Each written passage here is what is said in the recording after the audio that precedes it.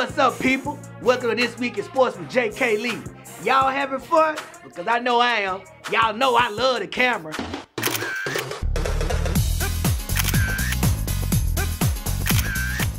But anyway, it was a huge week for sports in the 225, so let's get right to it. The first game took us to Dutchtown where the Griffins battled the McKinley Panthers. Dutchtown entered the game coming off back-to-back losses.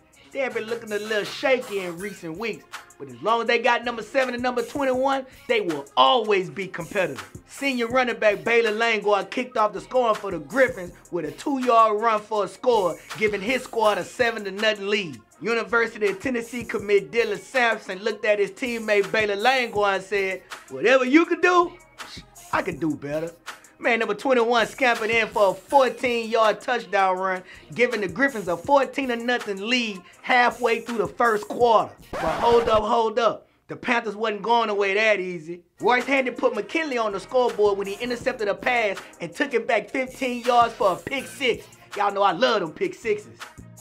But then Baylor Langor proceeded to go on a terror. He scored two more touchdowns, putting the game out of reach. The Griffins rolled in this one 41 to 6. It was a must-win situation for Dutchtown, and the Griffins got the dub. Way to go, fellas. The next game featured two 5A powerhouses, the Zachary Broncos and the Scotlandville Hornets. As y'all remember, I picked the Zachary Broncos to win this game, even though it broke my heart. And unfortunately for the Hornets, early on, it looked like I was right.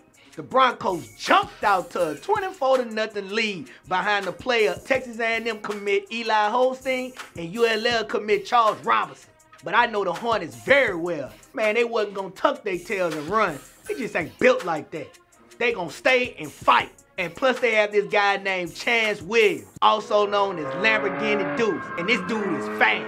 I'm talking fast fast, fast, fast. he hit Zachary with a 75-yard kickoff return for a touchdown that gave the Hornets some life. Lamborghini Deuce added a 27-yard touchdown reception from quarterback Zay Set. But man, it wasn't enough. As the Zachary Broncos rolled the victory behind solid defense and two touchdowns by Cameron Stewart. In the end, Zachary got the dub 48 to 32. Man, they still undefeated. Man, the Broncos scary. Now it's time for my favorite part of the show. JK Lee Sports Crystal Ball predictions. Man, I already know the Limited Madness student section gonna be cutting up when the Bad Lab Bengals come to town. I'm really nervous about this pick because I'm real good friends with Coach Wade at Bad Lab and Coach Trust Clay at Liberty. Man, I'm gonna go with Coach Wade and the Bad Lab. I, that's who I'm going with. Now look, y'all better not embarrass me. Y'all better show up and do y'all did it. Well, that's it for this week. Always remember to follow me on all of my social media platforms. JK Lee Sports. Holla.